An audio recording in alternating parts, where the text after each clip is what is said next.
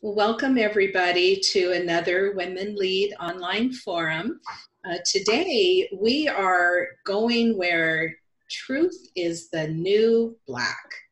And without further ado, I just want to say that my name is Patty Vargas, and, and I work with CWI in facilitating and putting together these online forums. And my partner in crime here is Shawn Marie Turi, and she'll be our facilitator and guide and leader through this journey of Truth is the New Black tonight. So, without further ado, there you go, Shawn Marie. It's in your court.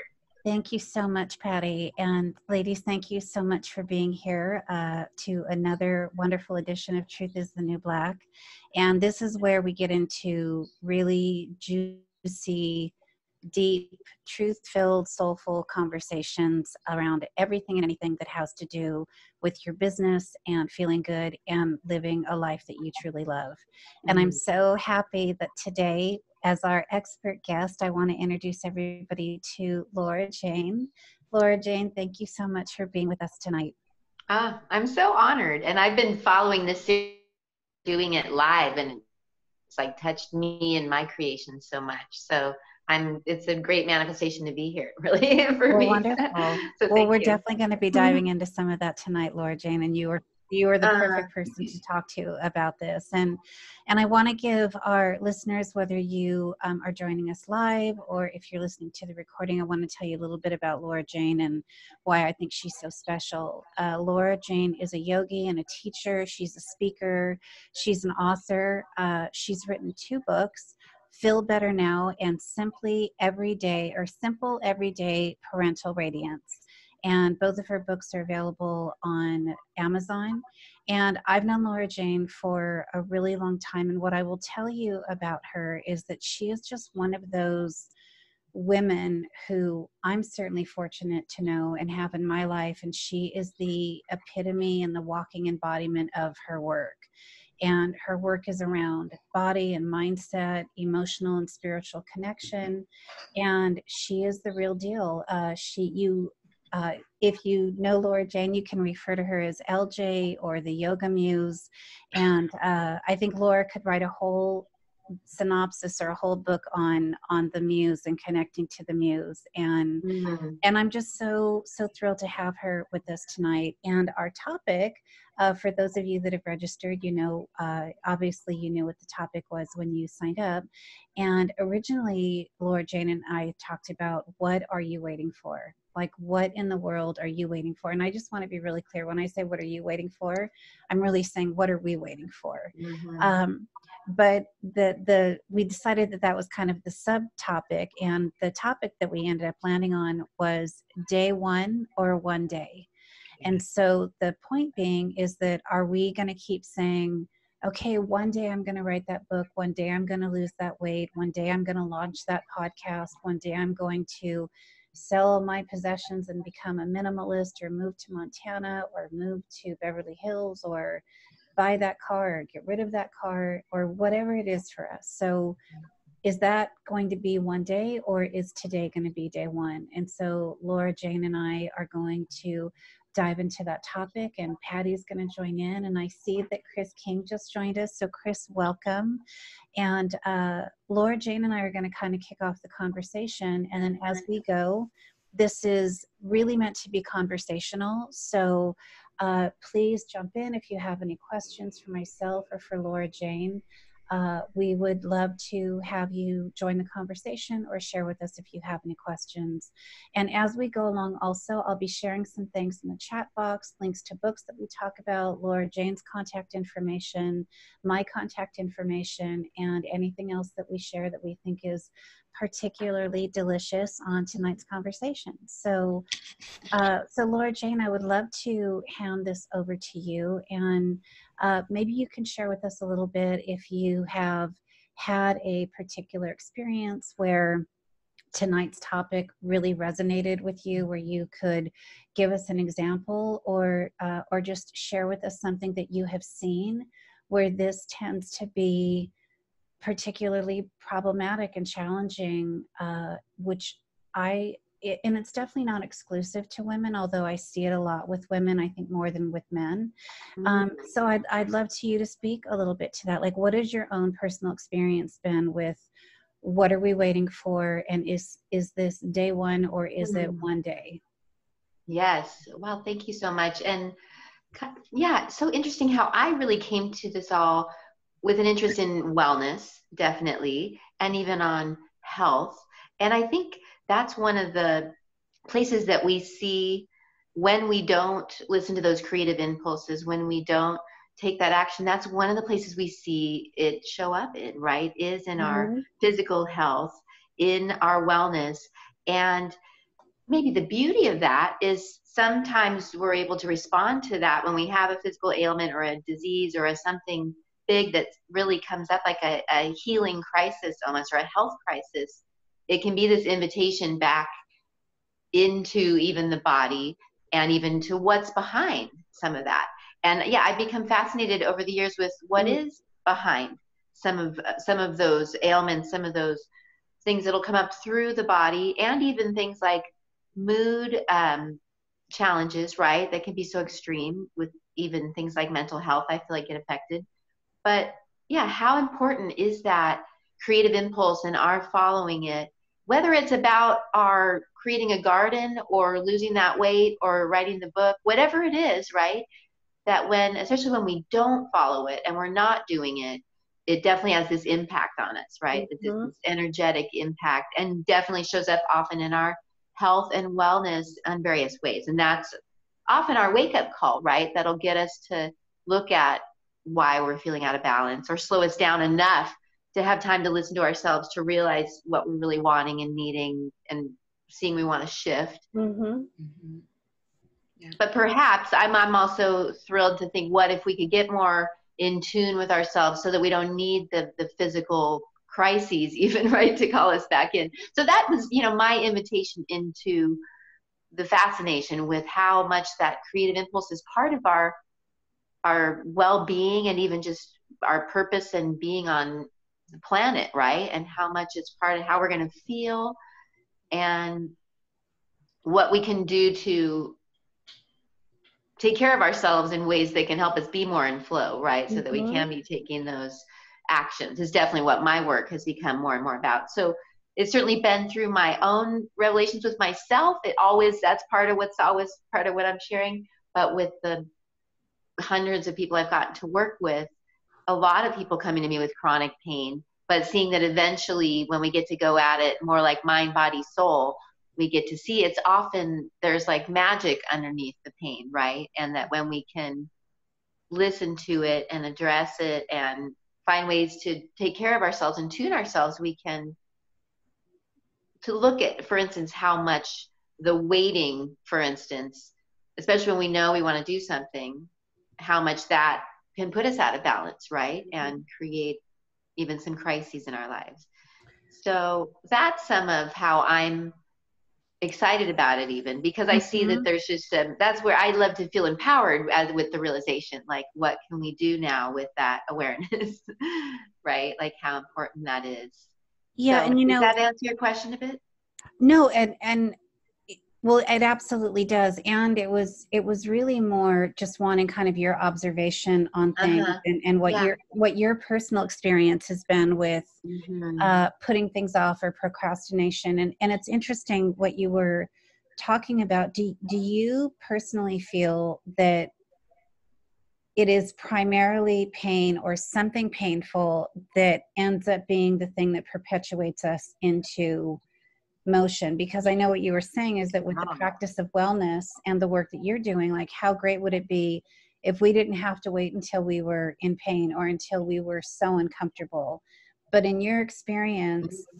is is that the is that kind of the catalyst ah. that you've seen that moves us forward or or is there are there other tools that we can tap into right now like and yeah. i know that you and i talked a little bit lj about you know letting our listeners know like some tips that they could maybe start practicing right now but but i would just love to know if you think that pain is the catalyst that actually mm. creates the getting past resistance Yes.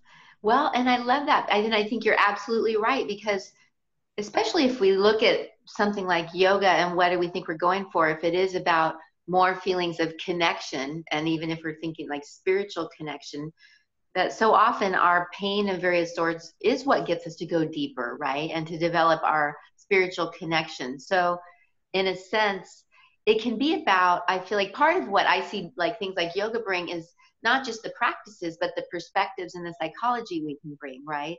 And so, even part of it is to see, like you're saying, that to just see even our current pain is serving us, right? And that there's, it's a catalyst. And it often can become the reason that we create things, right? To help others, like in that shamanic sense, that the things we heal for ourselves become how what we create, you know, and do to share with others. So I think the bringing in the perspective and the psychology right away that the pain is can be this gift, this opening, this catalyst, right? Like Rumi would say, it's like where the light, the pain is the place where the light enters us. And and that thing that really can bring us into that deeper connection that really is what we want more than anything, right? So mm-hmm.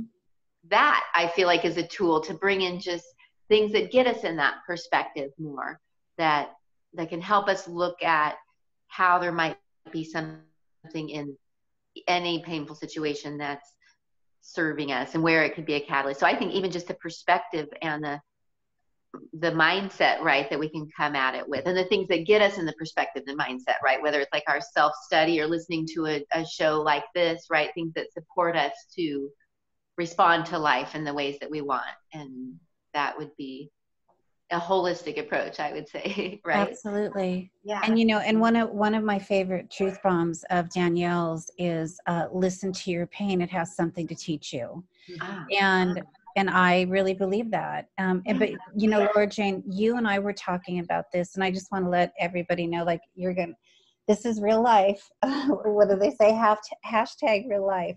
Um my dog's going to be barking in the background and there's just yep there's real life happening, folks. So, uh, but Laura Jane, you and I were talking about the fact that doing this work, right, whether it is yoga or exercise, and I and I want to say to Laura Jane, you, your practice, um, and I thought I felt like you framed it really beautifully. It's it's therapeutic meditation and personalized yoga um, and I think that most people think of meditation as, you know, either, you know, you have to sit there and try to try to quiet your mind. I've heard other people refer to meditation as what they do to manifest, um, which I, I don't.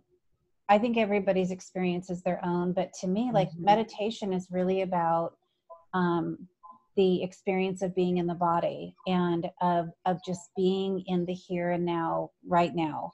Mm-hmm. Um, But I'd, I'd love to, I'd love for you to speak a little bit to this idea of therapeutic yoga. I, am mm-hmm. sorry, therapeutic meditation and uh, yoga, and how do we, how do we access those types of practices? Yes. To, to potentially clear the way for this thing that we are waiting for. Because going back to today's topic, yes. what are we waiting for? Uh-huh. Um, why not now uh, day one or one day yeah. so how do we how can we potentially look at the experience of personalized yoga and therapeutic meditation from your yeah. experience and your perspective to start to right. move things forward yes i love that it's a great question and like the leading edge of what i'm excited about with my awareness of these practices and yeah because what i would say with the personalized yoga again, I really love to preach and teach and share every time I talk about yoga that yoga really just means union or connection or to join. So, what I mean by personalized yoga is finding things that work for you personally that help you reconnect and building that into your more like everyday life to take care of you to tune you to help you keep reconnecting in various ways meaning reconnecting with your yourself reconnecting with your your heart your soul your sense of god and spirit reconnecting with your body is part of it right so i love to share that first of all anything really could be a form of yoga mm. but i love to share lots of the tools that I love that people listening probably have found that they like, so they can now realize it's a form of yoga, right? Something that reconnects them and do more of it. So, like one of them for sure is journaling. It's a really big practice. I know you and I both use that a lot. and I always share that that's a form of yoga because it definitely reconnects us. It's definitely a form of meditation too.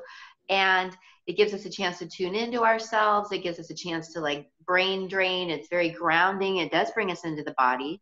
It's very reconnecting too, right? Because you're talking to someone and you're listening, right, to yourself. So it's very therapeutic and it's um, an energetic practice too. So all those things can be part of a yoga practice.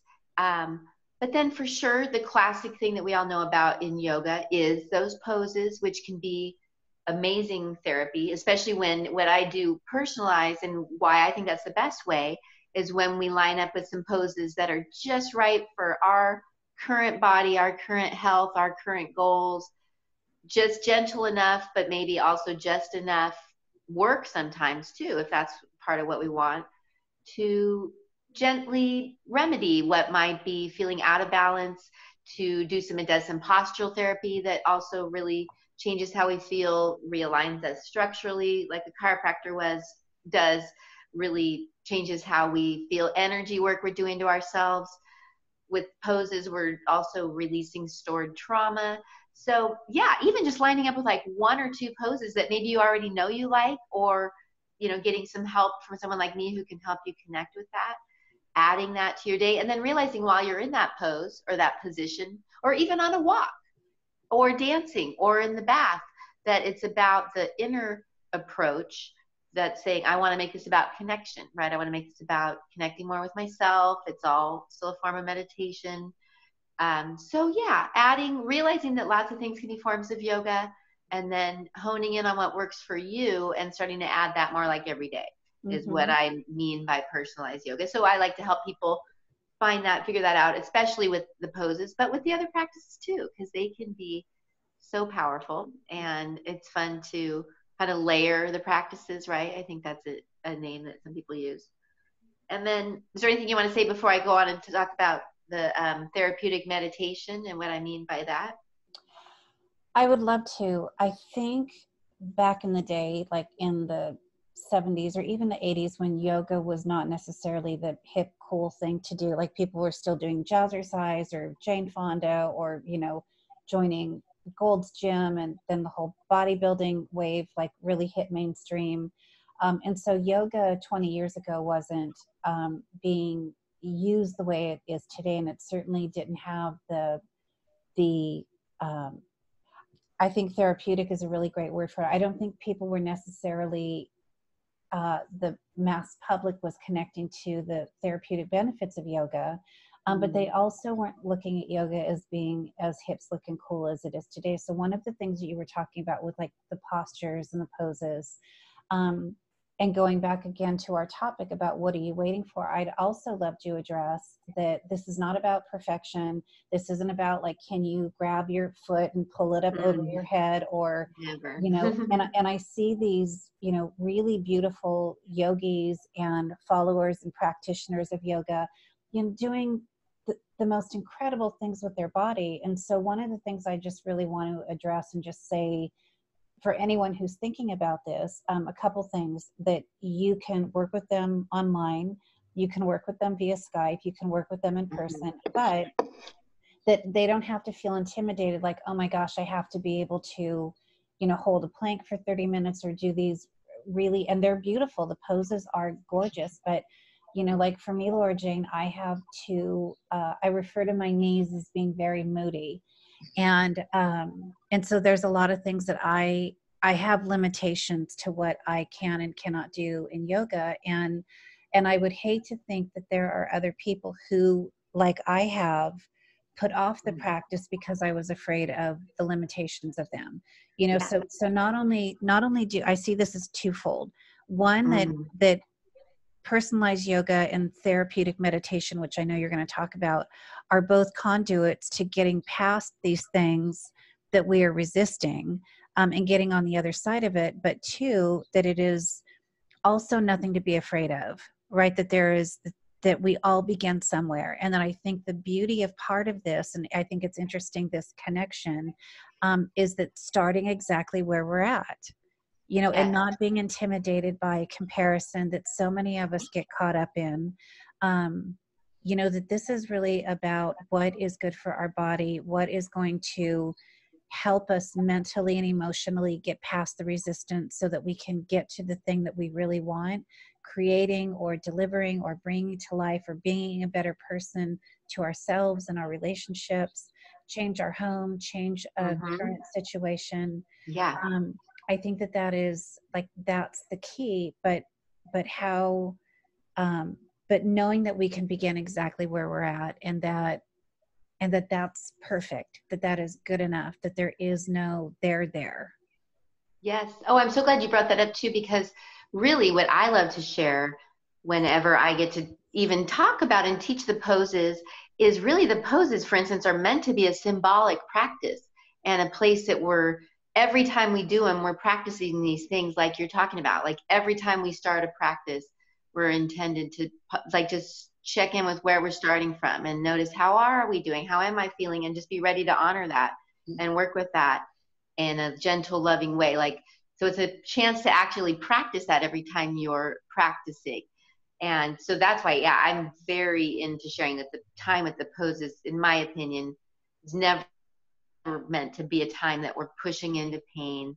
And that for a lot of us, it's not appropriate to do a lot of those fancy, tricky poses um, because it really is about that internal approach, that time to let it be a symbolic practice of how you're being with yourself, how you're working with yourself even through how you're dealing with your body through these poses you're taking it through but yeah i'm not into trying to take anyone through any poses that are going to hurt or make anything worse um, or, or, but it's exciting to see how it's a place to do that and practice that and that's why it's really a system of psychology more than anything and just to be mm. more in the moment and yeah so go and then I'm, I'm and i do want to share more how i see that can relate to this why aren't we doing the things we want to be doing thing too, right? Absolutely. So I will talk about that. But is there something you wanted to say before I?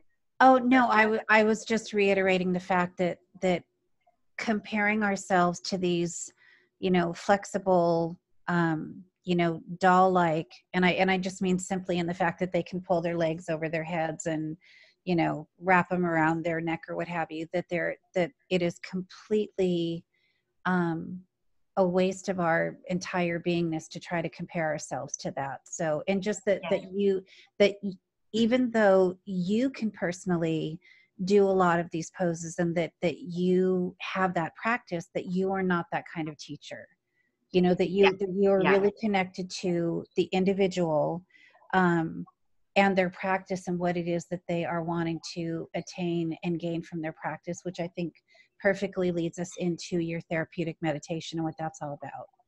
Yeah, and just before you go you know, there, um, oh yeah, I, I, just wanted to say that uh, I I gave up on yoga because you know mm-hmm. I took a lot of yoga classes and mm-hmm. things, and and I really liked the idea of yoga. Yeah. But I yeah. didn't like the go from step one to two to three to four yeah. to five, you know. And, and I found that there were, it, it's exactly like you said, there were a handful of poses that when I did them, I felt so powerful mm. and so connected. And so I made up my own little routine that uh, had, you know, those five or six poses. Uh, yeah. You know, it's like the sun salutation and the warrior and the tree pose and, you know, those things make me feel good. They make me feel mm-hmm. powerful you know mm, yeah. and so it is therapeutic to me and it is a connecting practice and it's something i'll do because they in in my world in my way you know they just one goes to the next and i'm telling myself a story as i go through them all uh-huh. you know Ooh. and then end at the final with the child's pose and the cobra and back and forth a few times and to me that's just submission and opening up submission and opening up so mm. oh, that's beautiful. That you've added your own like meaning and intention to it, and yeah, yeah. Because if it, yeah, because I came to really my yoga teaching with already having some chronic pain, even though I had been an athletic person. So I was trying to work out my chronic pain and I have and now that's a lot of the ways I work with people is people who are in pain because I've learned some great ways to fix a lot of stuff. But yeah, I and I don't even, I don't even want to do a lot of that tricky stuff with my body. I just want to feel good. so uh, I'm very, but I'm very interested in sharing that it's not what a lot of people think it is, and it really should never hurt. And even things like sun salutes are way too much for a lot of people these days. Like mm-hmm. that's awesome. That feels great for you, Patty. But for a lot of people, we could do a lot of things to get ready for that because mm-hmm. even those are a, uh, are not are too much, and they do get us hurt. And then again, with the symbolic practice of this, if it could be a place to be more listening to ourselves, more honoring with ourselves, more loving with ourselves. If something hurts and it doesn't feel appropriate, it's not very loving or honoring to do it anyways. Mm-hmm. That to me would that would not be a yoga approach. It yeah. would be a yoga approach to say, well, that doesn't feel like a good fit for me, so mm-hmm. I'm not mm-hmm. going to do that. And that's where it can also be tuning us into more like a sense of intuition and acting from that inner knowing and even realizing how our body's a part of that.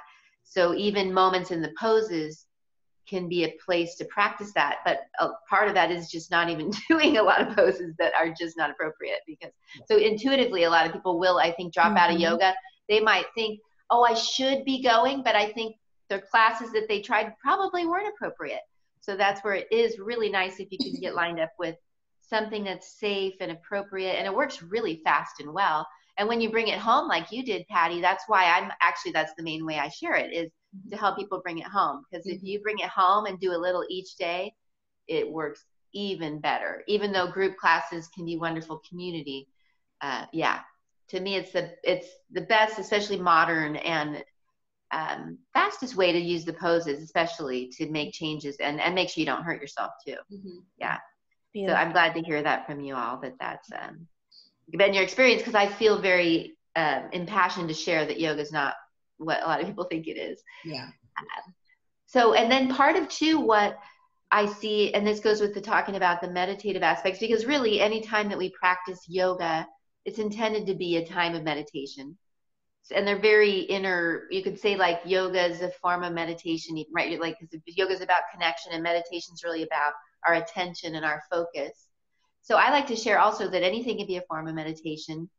And so, yes, even those poses are intended to be a time of meditation, or like journaling is a time of meditation. Um, but the ways I see meditation can be so simple and therapeutic is it's a time to listen to ourselves, no matter how we're doing it, right? And to get in that non judgment, which is really helpful. Mm, mm. And so that right away is going to be part of helping us with that moving into what we want to be doing, right? Because the more we're listening to ourselves, the more we're going to keep hearing that, oh, yeah, I wanted to start playing the ukulele, right? Or whatever it was. So that's part of the bonus of listening to ourselves more. Like it or not, we're going to hear that creative impulse, impulse more, right? And then we also get to do work that's also changing our energy. And so in meditation, right, we also get to quiet the mind with a lot of these practices, and that can be helpful for changing the momentum of the thoughts, which can be part of what's putting us in resistance, right?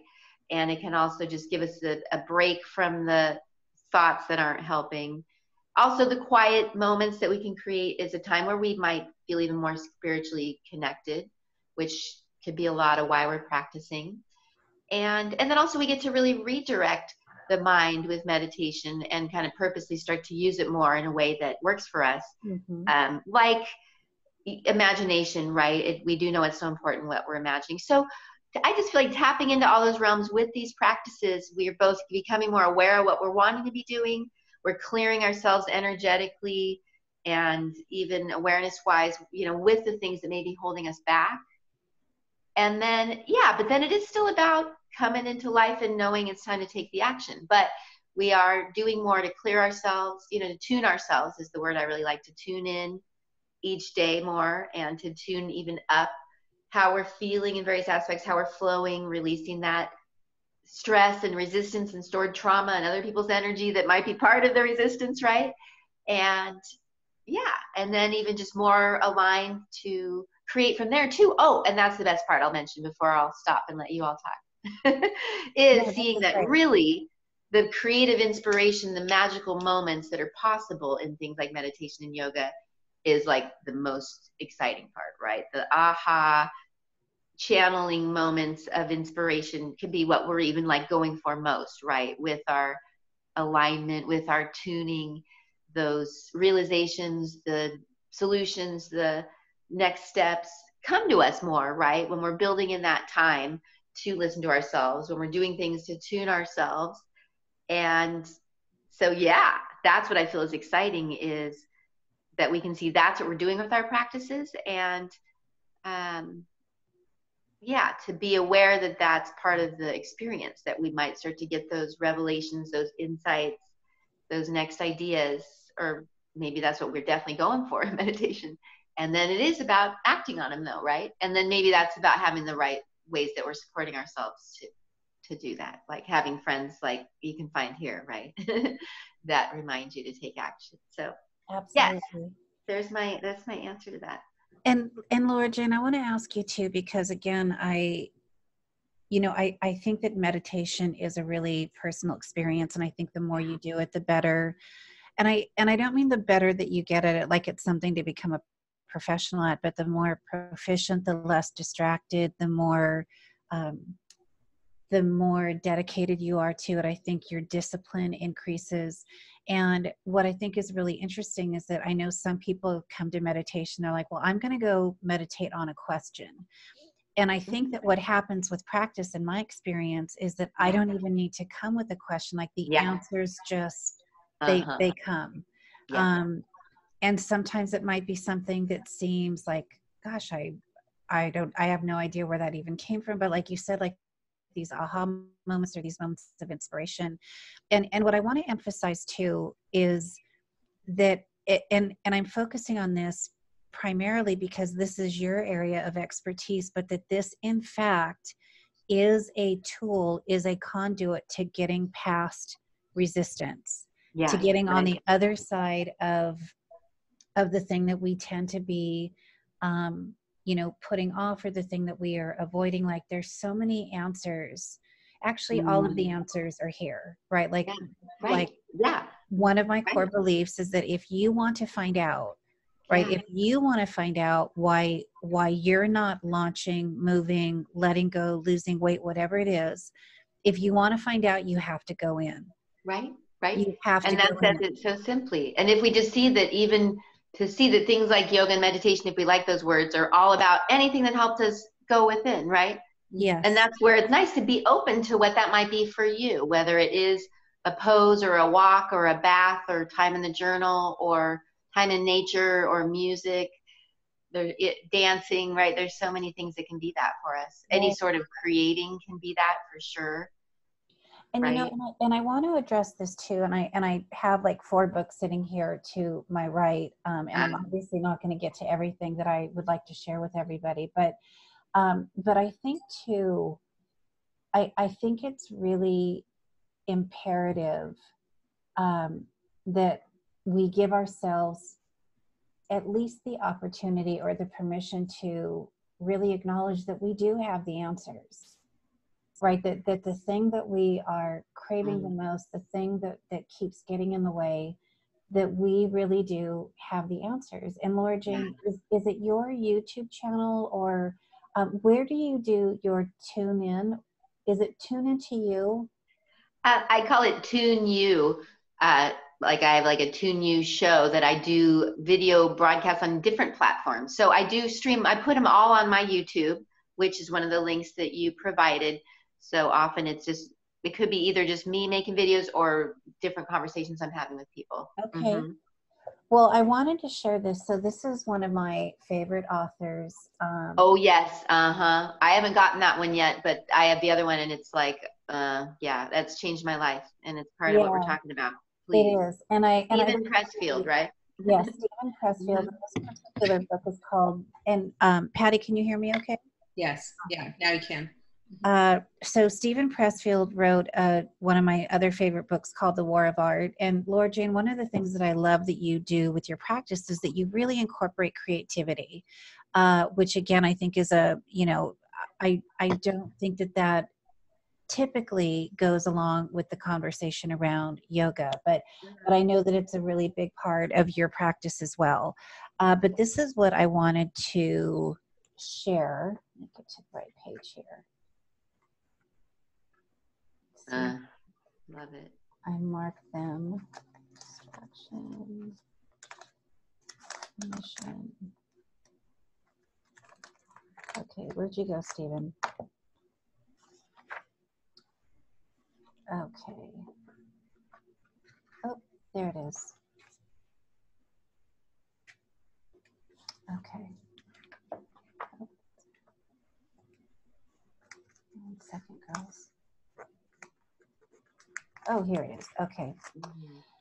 So, uh, Steven talks about um, really, really candidly his own experience and his own relationship to resistance. Yeah. And um, and the reason that I wanted to address this is because I'm such a big fan of transparency and authenticity and the truth. And in this book, Steven talks about so it's it's three things. There's the amateur, there's the pro, and then there are the answers, right? The muse, the mystic. Um, and this in this part of the book, it's my my own moment of turning pro. So mm-hmm. this particular book is called Turning Pro: Tap Your Inner Power and Create Your Life's Work. Uh, mm. Uh, but Steven knows better than most that what keeps us from going there, from achieving the thing that we're saying that we want the most, um, is resistance. And so he's really yeah. good at speaking yeah. directly to resistance and what we can do about it. Mm. So this is from Steven, my own moment of turning pro. The following is from the chapter called Resistance Healing in the art in the War of Art. I washed up in New York a couple of decades ago, making 20 bucks a night driving a cab and running away full time from doing my work. One night alone in my $110 a month sublet, I hit bottom in terms of in terms of having diverted myself into so many phony channels so many times that I could that I couldn't rationalize it for even one more evening.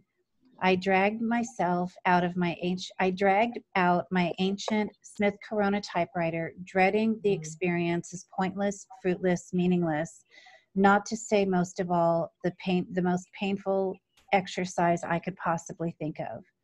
For two hours, I made myself sit there, t- torturing out some trash that I had chucked immediately into the shit can that was enough. I put the machine away. I went back into the kitchen. In the sink sat 10 days of dishes. For some reason, I hadn't even had the excess energy to wash them, but for this moment, I decided I would. The warm water felt pretty good. The soap and the sponge were doing their thing. A pile of clean plates began rising in the dish rack, and to my amazement, I realized that I was whistling.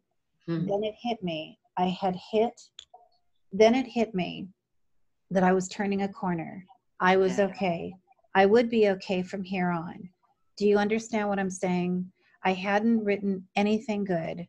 It might be years before I would ever write anything good at all, but that didn't matter.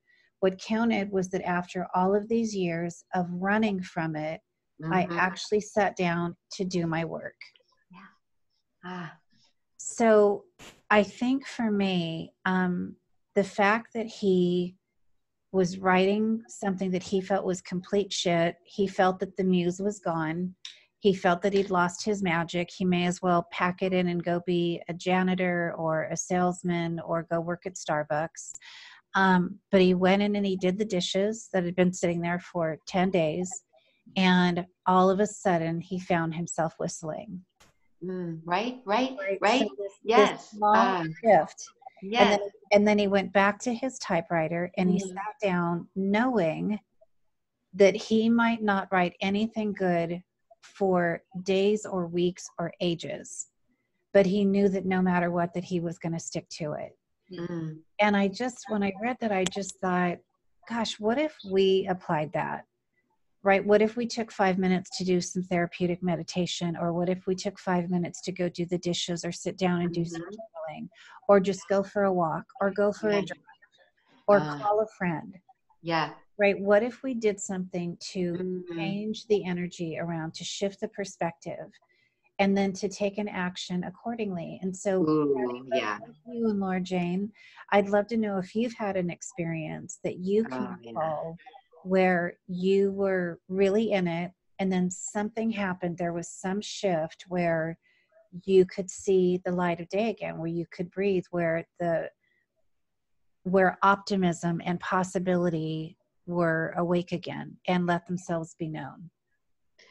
Ah gosh. Well i mean i know that i feel just i am so fascinated. I just made a video a couple days again ago again about this because i have about the power of pausing between our activities. And especially yeah i think i have really come to see that when i'm really not feeling great emotionally or physically that i now see it's a yogi response to slow down and pause and see what i can do to shift things right? And very simply it can be such simple things so gosh i feel like i'm living like that all the time where and so i do see that part of my practices help me just be more tuned into myself throughout the day so that even sooner I could catch that, right? And be ready to respond. Mm-hmm. And and that's where I have loved to share that you can use any of these practices, which even could just be taking one deep breath, right? We all have seen how even just pausing for one slow, deep breath can make such changes. So, but just how mm. staying on top of how we're feeling, it makes it easier to respond, right? But yes, we can use these practices responsively, right? When we notice we really need them to just more and more have these tools we can go to, whether it's something with the breath or something with the body, even more like a pose, or taking a walk, or going in nature, or going to the journal. And just being, but also the more tuned into ourselves we are, the sooner we know to go to that, right? And the more preventatively we're using these practices, I think the less dramatic maybe our experience will be. So, um, gosh, I'm thinking, okay, yeah, I do have an experience where I can share how, because one of my practices that really, really helps me that I build in almost in a weird way is gratitude. Like, I'm so impressed with the power of gratitude and appreciation mm. that I mm. purposely write gratitude lists every day as part of my journaling. Like, kind of very disciplined with my gratitude. It seems like strange, but I really saw the value of that recently because as I had a little like a health thing come up this summer where I wound up in the hospital for the first time and things that felt so scary and terrible, even though they really weren't, my gratitude, I realized, helped me so much. And I know that it even changed the whole experience, but I realized I was really strong in my gratitude because I'd been practicing it so much. Mm. So that was really beautiful and then i do believe it changed my experience even to be in a place of gratitude right and to just be noticing all the beautiful care i was getting and just how glad i wasn't anything it wasn't anything worse and you know how much that changed my experience and probably helped me heal faster too right to use my gratitude that i'll use whether i do it in my journal or on a walk i might just kind of list to myself what i'm thankful for i love playing with gratitude practices so and i would say that's totally a form of yoga or even meditation, right? Because you're playing with your focus and your attention and it's reconnecting you, right? And even gratitude is such a spiritually reconnecting frequency, right? That's part of the the shift of it is it really gets us in that more spiritual approach like maybe more more how like spirit would see the situation or god or that side of you so that's part of why it's such a powerful shift mm-hmm. so yeah that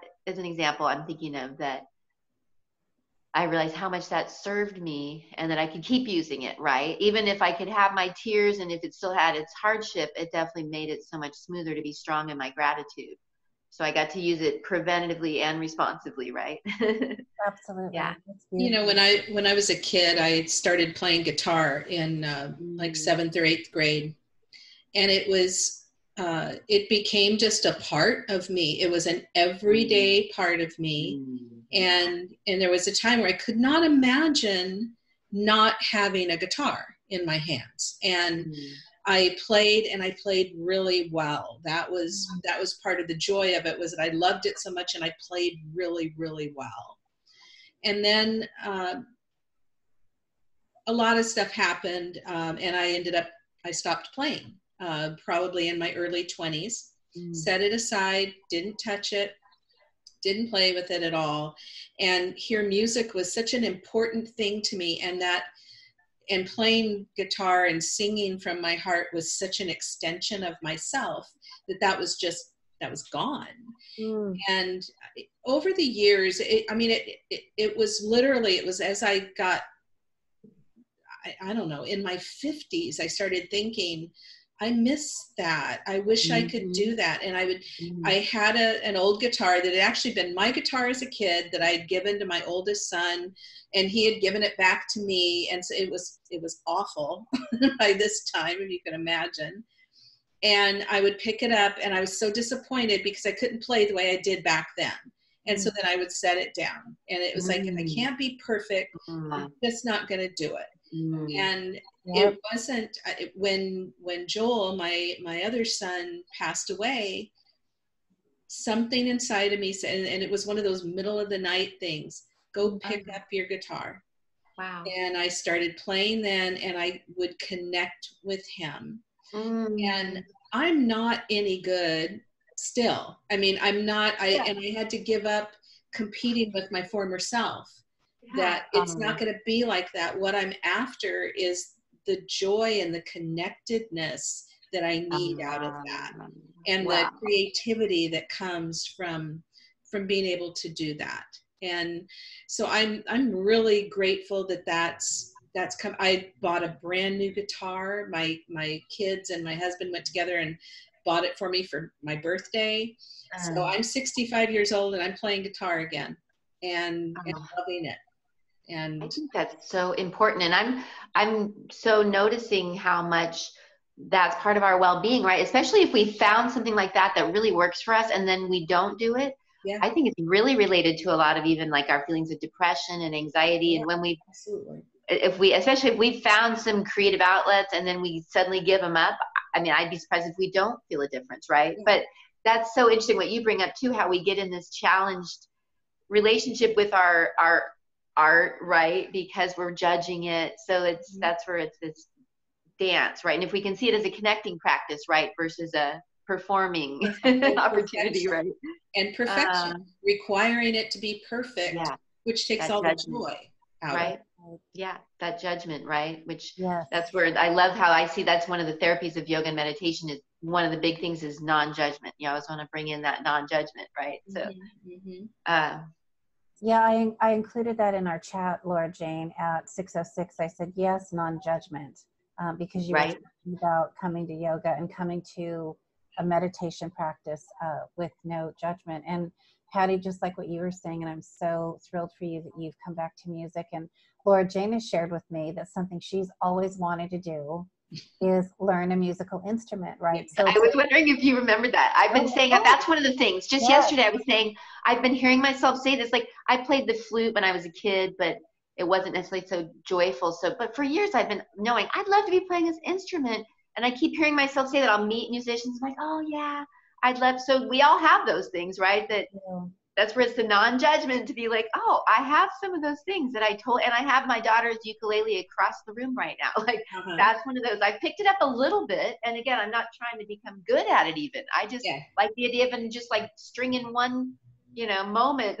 in a yeah. zen way would be because i know like sound is so amazing as a mm-hmm. oh. tool of therapy and transformation and energy work right and connection like huge whether you make the sound or listen to the sound it's it's we're starting to really see how much that tunes us literally right? Yes, yeah. so yeah I, so i got to get to yeah i'm gonna keep evolving into my um maybe today one day if not tomorrow see that's my one day. That's right. see, that's where maybe it helps to really it does seem to help to have community though right? Like this. And that is actually a, a limb of yoga is the importance of supportive spiritual even community and I think that's where we can see with our creativity and our doing the thing is having people around us who are going to be with us and saying, so like, okay, so you're going to start today, right? Instead of that, also like, oh yeah, me too. I have that thing maybe next week, maybe next year, right? Yeah. So that's where it is interesting to look at our relationships that are um, supporting us, right? Or being having people that even inspire us that make us want to take more action, right? Yeah, and Laura Jane, I was not about to have Patty share that gorgeous story and then not bring up that you want to play an instrument. So. I didn't remember if I had told you that, but obviously I've been telling some of my friends that. So. no, I think I it's really, it's really important. And, and I think for me, you know, Patty, you were saying like you were really good at it and you would always play and you had this really beautiful practice. And for me, it was connected to exercise and movement. And I was athletic my whole life. And when I was mm-hmm 18 i went to work at a at a health spa and a gym and i worked for richard simmons at the richard simmons anatomy asylum 100 years ago um, and i was always exercising and if i went on holiday i don't care if it was to mazatlan or switzerland i was calling ahead of time and making sure that they had a gym so i knew where i was going to work out because at that mm. point you know i wasn't really doing like mm. um, i don't know calisthenics or isometrics or whatever they called it like i wanted to be in a gym yeah. And so I was religious about it. And then I started my own business. I was 21 and did that for 10 years. And then all of a sudden, which often happens with us, the practice, the thing that made me feel so good, um, it, it then became like, oh, I'll do it tomorrow. Oh, one day I'll get back to it. Or taking off one day, then taking off a week. It's not that big of a deal. Then taking off a month. But the truth of the matter is, is that, you know, as years go by, and my body has changed and I've sustained some injuries. What I found where my resistance has been um, is this feeling and this judgment, you know, going back to what you said, Laura Jane, about no judgment, is this judgment of my body feeling like it's betrayed me. Mm-hmm. Um, and the idea of starting up again, you know, and again, you both have framed this so beautifully. And even what Steven said about sitting down to write, and that he might not write something good for years, if ever. You know, and for me, part of my resistance to getting back to working out is, you know, like you said, Patty, like I want to be, not only do I want to be in the same shape that I was back when, but I want to be able to sustain those types of workouts and not and, and not be in pain yeah. but the truth of the matter is is that not doing it is causing me by far mm-hmm. so much more pain uh, than than it than I would ever ever experience if I was actually right. just doing it. Right. So so I'm just going to say here and now to you girls, like say it publicly. Um, it is day one. It's not one day. It is day yes. one. Um, day one. We're yes. finding our day ones. Yes. Right. And, and I think you said it so clearly. That's the bottom line. Is it it feels better to do the thing than to not do it. And it really does start mm-hmm. to get even though there's something called resistance that makes us think we don't want to do the thing that gets us to even not do it it actually starts to become more and more painful right? And starts to manifest as stuff. And it does. it actually feels better to actually do it right? It absolutely I, I have to share you share this with you my exercise mm-hmm. story. I I only exercise because I have to. I do not enjoy it. I will never enjoy it. And even though I know it's it's uh, an antidote to my depression and stuff, I just I only do it because I know my bones need it. You know. Mm-hmm. mm-hmm. But I years ago I used to do kickboxing and I did like a 90 minute class and it was at the end of the class you were you were dead you were drenched you were you know wrung out and it was amazing it was awesome well that was then this is now and i'm not even capable of doing that. And just this morning i was so excited. I i i have um, a subscription to um, an online exercise thing and you can go in and pick all these different exercises to do. And i found a kickbox class for people who are returning either returning from injury or reach or just beginning at a more advanced mm-hmm. age. So it was like a 25 minute kickbox class and it was freaking awesome. And I was doing it and I was thinking, I'm doing kickbox at 65. Um, Look yeah, at me. Right, right. And it was what I could do and I felt so good, you know, mm-hmm. and and instead of that idea of competing with my younger self, that's right. I was doing what I could mm. do, and it was amazing. It was awesome. It was so awesome. Yeah. Patty, good for you, and thank you so much for sharing that. That's, I mean, the the timing of your story could not be more perfect. So, thank you. I, I will remember that when I'm at the gym tomorrow morning. So, um, thank you. Were you going to say something, Laura Jane? Well, yeah i i just want i love how the conversation has gone really and that it's just i think it is important to look at how important our creativity is to our lives and our well-being and how we feel and that that means our creativity on any level right Absolutely. and but yet learning to love ourselves through it is really helpful and to be more gentle with ourselves through being creative even and that's where it's awesome to see how our practices can do that. They can be a place to be practicing that self-love and embodying that more and getting better at that. And then that can translate into our creating right? Absolutely darling. Well ladies it is uh, 6.33 and mm-hmm. uh, i'm going to uh, i'm going to take us out with a couple of short readings and laura jane before we call it a night i just want to thank you so much for being mm-hmm. with us tonight for sharing your wisdom and your truth and uh, sharing your practices with us. Mm-hmm. And um, I just want to ask you really quickly before we wrap up um, are there any tips or are there any uh, guidances or videos or anything that I could share in our chat box that that you might like to share with our with our listeners or our our viewers that are watching the replay? Yeah, well, I would love to um, get you the links to, because on SoundCloud I have free audio meditations that are really short, just very simple ways to try meditation in a very, very simple way. And then I do, I'll have a lot on YouTube. So um, those are good ways to find my content. Yeah, and where I'm doing a lot of creating. So I'll I'll send those to you so you can post them here. That would be great, Laura Jane. And uh, I'm going to also include a couple of links. It was really incredible right before I got on the call tonight. My husband was telling me about um, a Portuguese uh, filmmaker who will actually be 111 years old on December 12th. Mm-hmm. And and he just made uh, another movie. So um, this is his name. I'm going to share this here in the chat. Mm. And uh, here is some information on him. Um, but talk about living life to the fullest. And, you know, if not now, when? Um, what are we waiting for? Is this day one or one day? Um. I mean, he'll be 111 and he just, uh, he just did his next movie. So I thought that was pretty astounding. And I thought if any of us needed a little bit of inspiration, I wanted to share that here because it's so beautiful.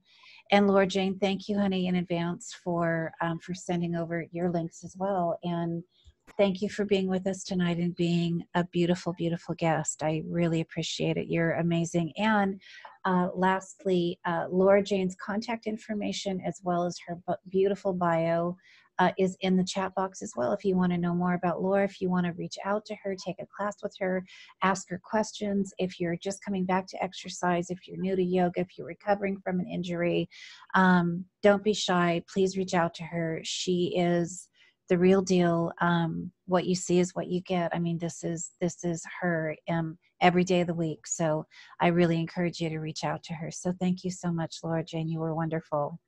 Thank you so much, Shawn Marie. My pleasure all around. so uh, the first reading is from Turning Pro, and this is The Amateur Will Be Ready Tomorrow. I'm, I'm really speaking to myself when I say this. Uh, two Hollywood producers were talking. I've got good news, said one. I've got bad news. Give me the good news. Remember that mansion that we were trying to rent for that big party scene, but we couldn't get it because the cost was $50,000 for one night? Well, I just talked to the guy and he'll give it to us for 10,000. What's the bad news? He wants a hundred bucks up front. the sign of a sure amateur is that he has a million plans and they will all start tomorrow. so ladies here is to uh, here is to starting today on day one and uh, the last uh, beautiful um, little treat I want to share with you is by Mary Oliver. And this is Mary Oliver. This is her gorgeous book called Devotions. So, for those of you that don't know Mary Oliver, she is a wonderful, beautiful, prolific poet. And this is her poem called I Worried. Oops. Oh, Greg Carpa. Hello. Are you still there? Oh. Girls, are you still there? Yeah, looks like you're sharing your page. Uh oh, maybe I messed it up by sharing that right now. that's, okay, Laura Jane. I am on back on now. that's okay. I'll just go ahead All and right. share this. Uh, so this is by Mary Oliver. It's called "I Worried." Uh. I wor- I worried a lot. Will the garden grow? Will the rivers flow in the right direction? Will the earth turn as it was taught? And if not, how shall I correct it? Was I right? Was I wrong? Will I be forgiven? Can I do better? Will I ever be able to sing? Even the sparrows can do it, and I am, well, hopeless. Is my eyesight fading, or am I just imagining it? Am I getting rheumatism, lockjaw, dementia? Finally, I saw that worrying had come to nothing, and I gave it up. And I took my old body, and we went out into the morning, and we sang. Mm. So I'm going to leave us with that, my dears, that we are going to take our sweet, beautiful bodies at whatever age they are, and we are going to go out into the morning and we are going to sing and we are going to hopefully make this one day. And I just want to say this in closing that when we come up against resistance, that when we suddenly come to and we realize that it's um, that we've missed day one or it's day three or it's day seven, that we just begin again, that we plug back yeah. into our practice, and that every moment of every day there is an opportunity for it to be day one. So I wish you well, my friends, and thank you so much for being on tonight's Truth is the New Black, and I'll see you next month. Bye, thank everybody. You. Thank you. Bye.